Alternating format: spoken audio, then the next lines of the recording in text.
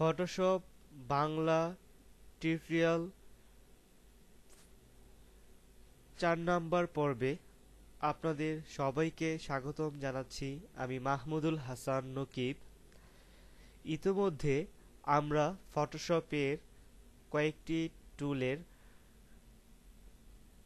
মাধ্যমে কিছু প্রজেক্ট আমরা করেছি এবং কিছু টুলের উপর আমরা আলোচনা করেছি, কোন টুল দিয়ে কীভাবে কাজ করতে হয়। আজকে তার মধ্যে বেশ কিছু গুরুত্বপূর্ণ টুল নিয়ে আজকে আমরা কাজ করব, যেগুলি ফটোশপের কাজ করতে ব্যবহৃত হয়। তো চলুন, দেখা যাক আমরা কোন কোন টুল নিয়ে আজকে কাজ করব। প্রথমেই ফটোশপটি ওপেন করি।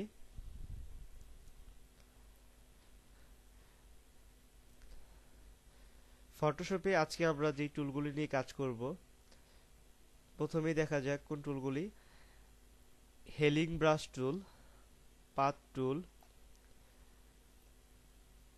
তারপর brush tool pencil tool clone stamp tool pattern stamp tool history brush tool art history brush tool eraser অর্থাৎ মশার কাজে এই টুলগুলো ব্যবহৃত হয় ম্যাজিক ইরেজার টুল খুব গুরুত্বপূর্ণ একটি টুল গ্র্যাডিয়েন্ট টুল এটার মাধ্যমে গ্র্যাডিয়েন্ট করা হয় paint bucket tool blur tool sharp tool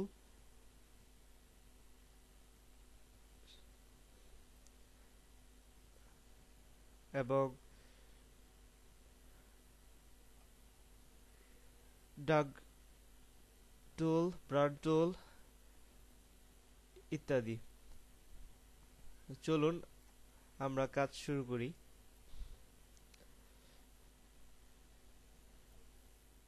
প্রথমে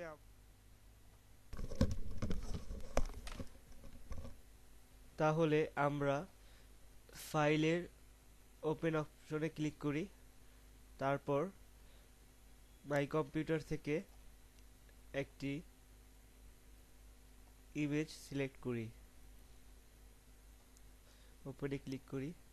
আমরা ইমেজটি দেখতে পেলাম। এবার আমরা আরেকটি ইমেজ সিলেক্ট করি।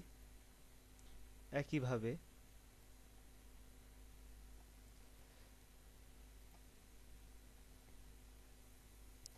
এখন আমরা এই দুইটি ইমেজের মাধ্যমে, অর্থাৎ হেলিং ব্রাশ টুলটি কীভাবে কাজ করা হয় ছবির মধ্যে, সেটা আমরা এখন দেখাবো।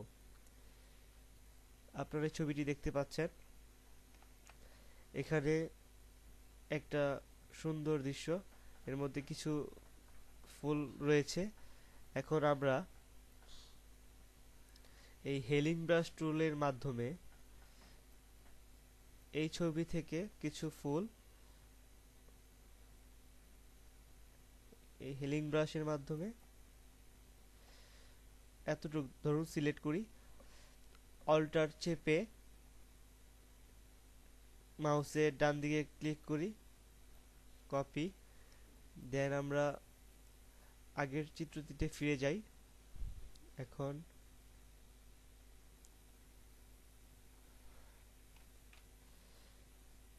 আমরা।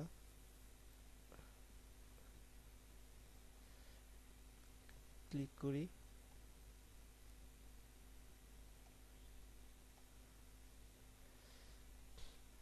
এখন আমরা, আপনারা লক্ষ্য করুন, এই হেলিং ব্রাশ টুলের মাধ্যমে একটা ছবির সাথে আরেকটা ছবি খুব সুন্দরভাবে অ্যাড করা যায়। আপনি চাইলে এখান থেকে এই পাহাড়, পাহাড়টিকে এই ইন্ডিকেটরের মাধ্যমে সিলেক্ট করে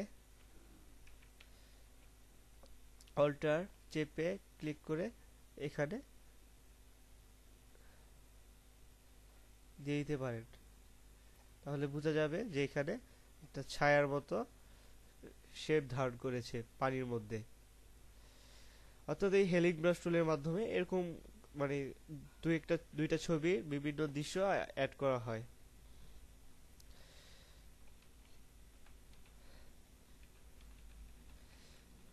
তো চলুন, এরপর অন্য টুল দেখি কি কাজ করা যায়। যেমন, তারপরের টুলটি হলো পাত টুল পাত টুলের মাধ্যমে আমরা ছবির মধ্যে যে কোনো অংশ সিলেক্ট করে, এভাবে সিলেক্ট করে তারপর ওই অংশটি ডিলিট করতে পারব। ডিলিটে চাপলে ওই অংশটি চলে যাবে। তারপরে কন্ট্রোল ডিতে ডিসিলেক্ট করে দিতে পারব। পাথ টুলের মাধ্যমে ইজিলি ইজিলি কোনো কিছু সিলেক্ট করা যায়।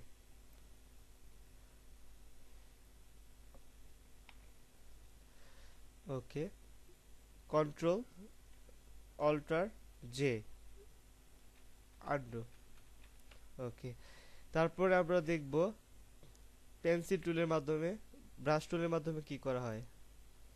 ব্রাশ টুলের মাধ্যমে কালার বিভিন্ন ধরনের কালার ই করা হয় ব্রাশ করা হয়। যেরকম আমরা একটা নিউ উইন্ডো নেই, যেখানে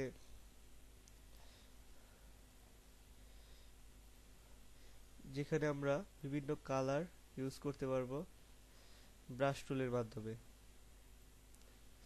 ব্রাশের আবার বিভিন্ন ধরনের ই আছে, আকৃতি আছে, যেরকম মোটা আছে ফাইভ নাইন আরও অনেক ধরনের। ব্রাশ টুলের মাধ্যমে আমরা ওয়েবসাইটের নিচের অংশে অনেক সময় এরকম শেপ দিতে পারি। গাছের পাতার। এখানে অনেকগুলা স্যাম্পল আছে, আপনারা ইচ্ছা মতো দিতে পারেন। এরকম এরকম কালারটা আমরা চেঞ্জ করে দিই। গাছের সবুজ গাছের, খুব সুন্দরভাবে দিতে পারি।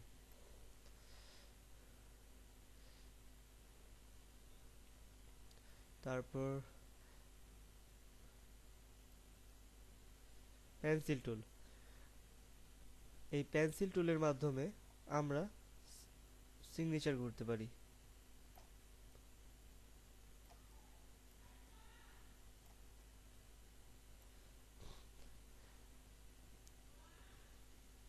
অর্থাৎ ব্রাশ টুলের মাধ্যমে আমরা বিভিন্ন ধরনের শেপ দিতে পারি। বিভিন্ন ধরনের ব্রাশ স্টার আছে। আপনারা বাসায় ট্রাই করবেন, তাহলে আপনারা বুঝতে পারবেন ইজিলি আচ্ছা তারপরে আমরা পরের টুল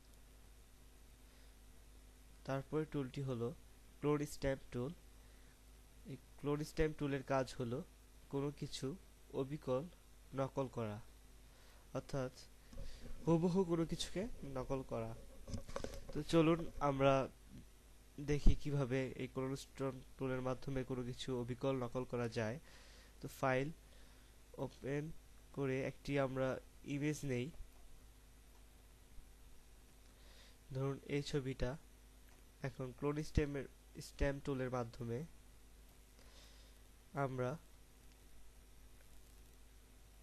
এতটুকু অংশ সিলেক্ট করলাম। অল মাউসটি চোখটির উপর রেখে অল্টার চেপে মাউসের রাইট বাটনে ক্লিক করলাম। কপি হয়ে গেল। এখন আমরা এই উইন্ডোর উপর এটা অবিকল নকল করতে পারব। আপনারা দেখতে পাচ্ছেন ক্রোলিস্টার স্ট্যাম্পের কাজ। কোনো কিছুকে অবিকল নকল করা। এই হলো কাজ।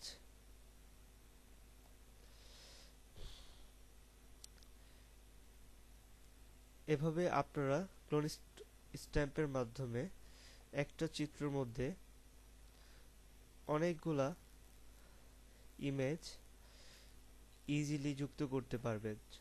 যেরকম আপনারা এখান থেকে ক্লোন স্ট্যাম্প টুল ইউজ করে এই চিত্র থেকে এই ব্রিজটা এখান দিয়ে দিয়ে দিতে পারেন।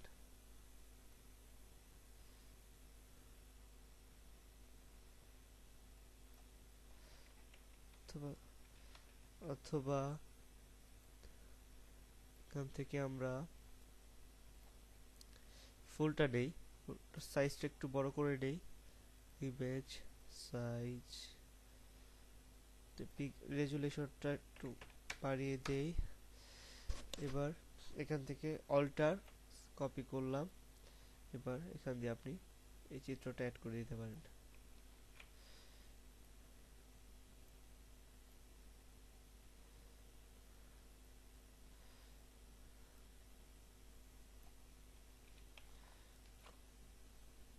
কপি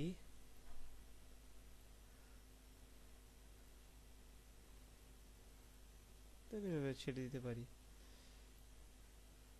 কপি হয়ে গেল। অথবা আপনি ইচ্ছে মতো স্টেপের মাধ্যমে কোনো কিছু ছবি নকল করতে পারবেন। তারপর যে টুলটি সেটার নাম হলো প্যাটার্ন স্টেপ টুল এটার মাধ্যমে এটার কাজ হলো কোনো কিছু চিহ্ন দেওয়া, অর্থাৎ আপনার একটা একটা স্বতন্ত্র একটা চিহ্ন দেওয়া যেটা শুধু একমাত্র আপনি পারেন। অর্থাৎ কোনো সার্টিফিকেটে যেই নকশাগুলো দেওয়া থাকে, অর্থাৎ চিহ্নগুলো দেওয়া থাকে, যেগুলি কেউ নকল করতে না পারে, সেই কাজটাই করে থাকে প্যাটার্ন স্ট্যাম্প টুল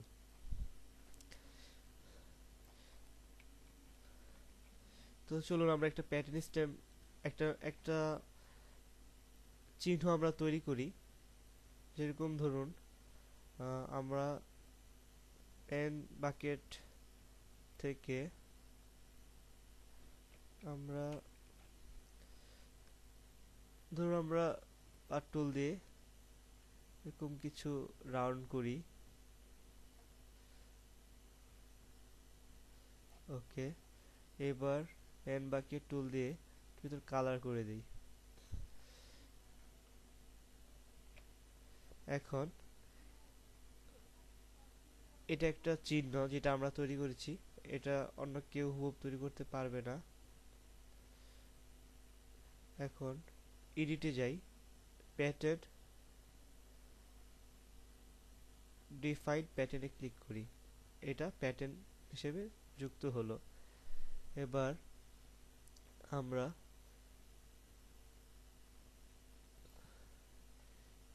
এই চিহ্নটাকে প্যাটার্ন হিসেবে ইউজ করতে পারব। এখন একটা নতুন উইন্ডো নেই।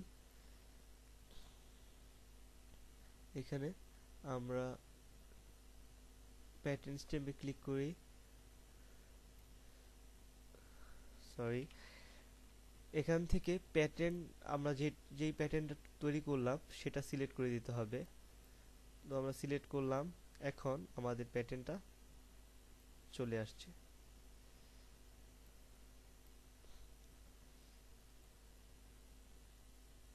আচ্ছা এরকম আপনারা অসংখ্য কাজ এই প্যাটার্ন স্টেম টুলের মাধ্যমে করতে পারবেন। তারপরে টুলটি হলো history brush tool, art history brush tool. তো আমরা একটা ছবি নেই।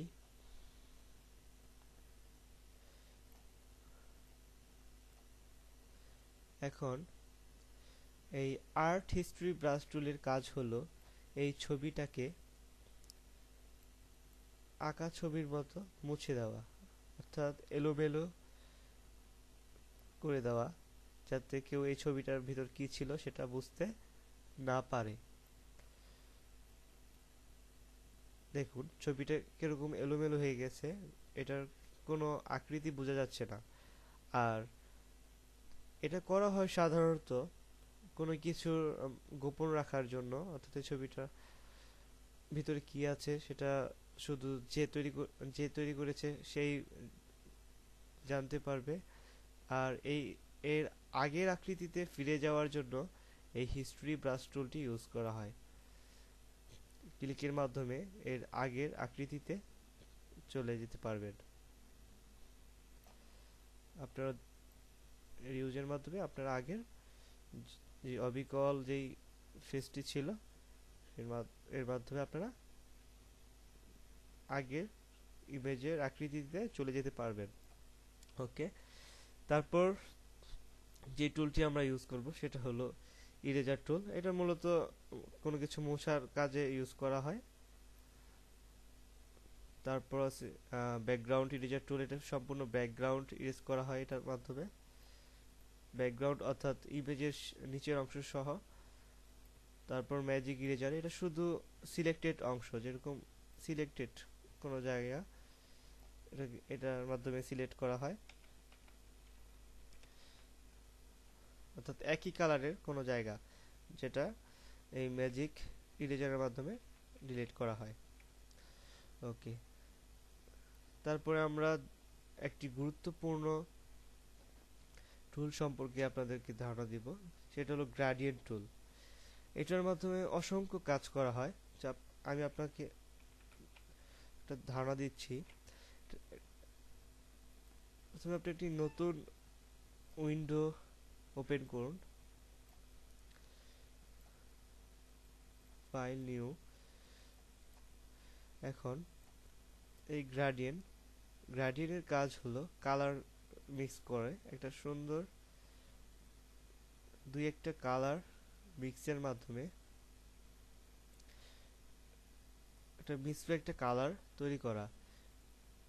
যেরকম ধরুন, আপনি এখানে বিভিন্ন ধরনের কালার ইউজ করতে পারবেন। আপনি এখান থেকে কালার আপনি চেঞ্জ করতে পারবেন, হালকা কালার দিতে পারবেন আপনার ইচ্ছা মতো। এখানে আবার এখানে আবার কালার ইউজ করতে চেঞ্জ করতে পারবেন ইচ্ছা হলে। ধরুন আমরা এই কালারটাই নিলাম। এখন এই দুইটা কালার এখানে একটু গাঢ় হয়ে গেছে, আমরা টেনে হালকা করে দিতে পারব। এখন ওকে নিলাম। এখন আপনি পাতের এখান থেকে এভাবে টান দিলে, এটা সুন্দর কালার মিক্স কালার দেখা যাচ্ছে।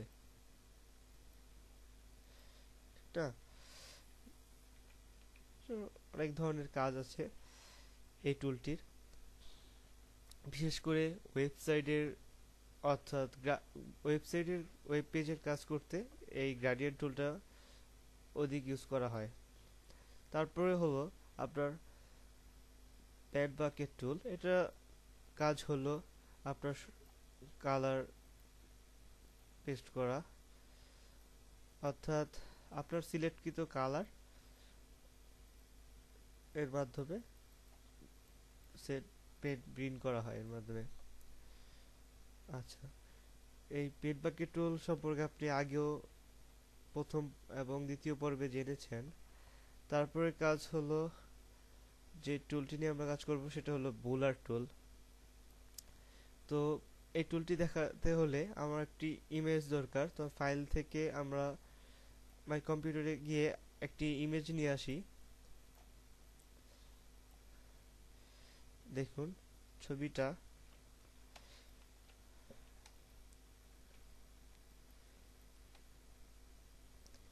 এই ভোলারের মাধ্যমে আপনি একটু অস্পষ্ট অর্থাৎ মসৃণ করে দিতে পারবেন ছবিটাকে। আমি একটু ঝুম করে আপনাদের দেখাচ্ছি।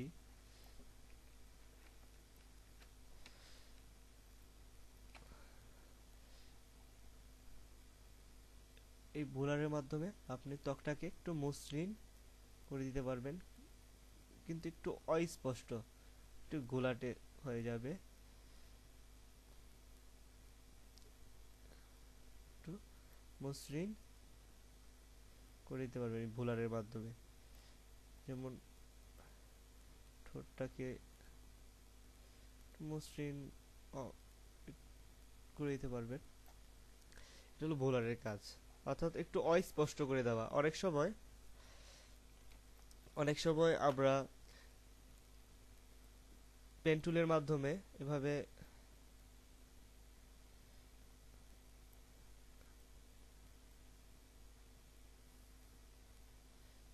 জাস্ট আপনাদের সিম্পল একটা জিনিস দেখাচ্ছি যে অনেক সময় আমরা এভাবে পেন টুল ইউজ করে এভাবে জাস্ট দেখানোর জন্য আমি ওরকম সুন্দর করার চেষ্টা করছি না। অনেক সময় আমরা পেন টুলের মাধ্যমে কাজ করার সময়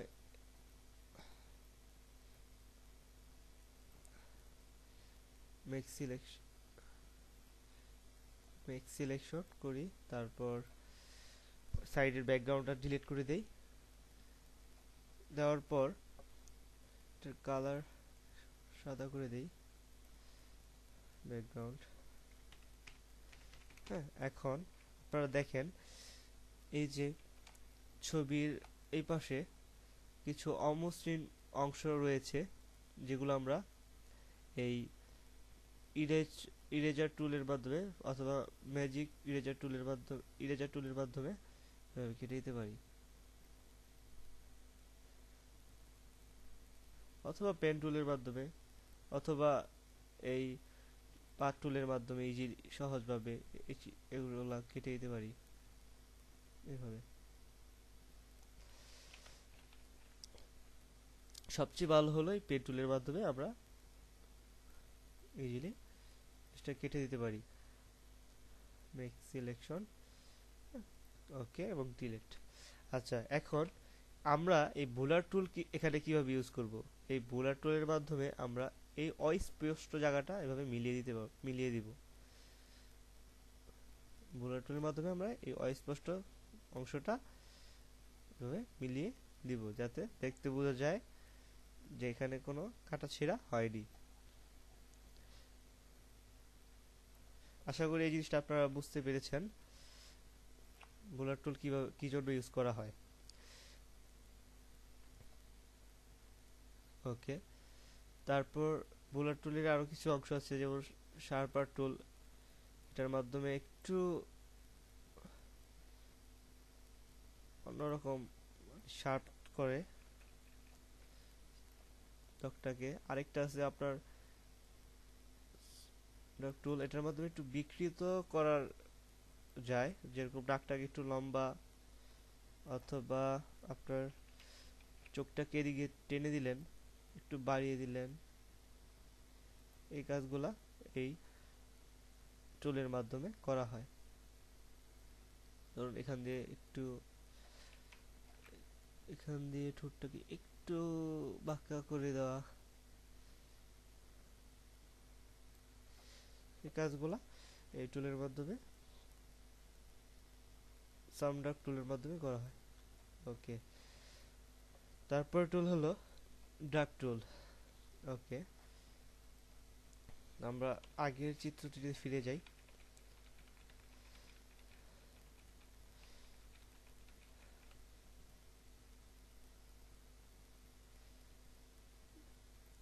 দ্রুত আগের চিত্রটিতে ফিরে যাই।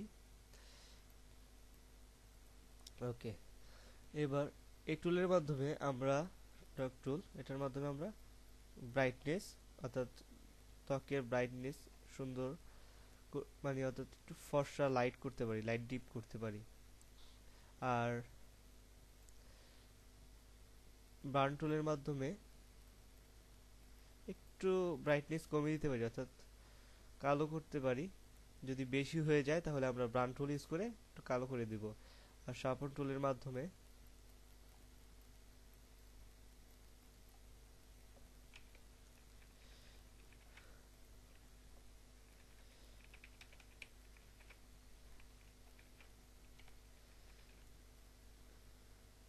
মাধ্যমে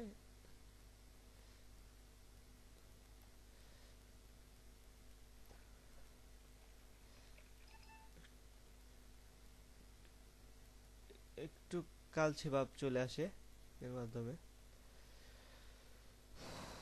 এরই মাধ্যমে আমরা এই কয়েকটা টুল আপনাদের মাঝে সংক্ষেপে অর্থাৎ কীভাবে এই টুলগুলা ইউজ করা হয় অর্থাৎ কি কাজে এই টুলগুলা আমরা ব্যবহার করতে পারি সেটা দেখালাম। পরবর্তীতে, ইনশাআল্লাহ, আমরা চেষ্টা করব এই টুলগুলোর মাধ্যমে ছোট ছোট প্রজেক্ট তৈরি করে আপনাদেরকে উপহার দিতে, যাতে করে আপনারা ছোট ছোট প্রজেক্টের মাধ্যমে প্র্যাকটিস করে নিজেদেরকে দক্ষ করে তুলতে পারেন এবং টুলগুলোকে ভালোভাবে আয়ত্ত করতে পারেন। এই টুলগুলা যখন আপনারা সম্পূর্ণভাবে আয়ত্ত করতে পারবেন, অর্থাৎ ধাপে ধাপে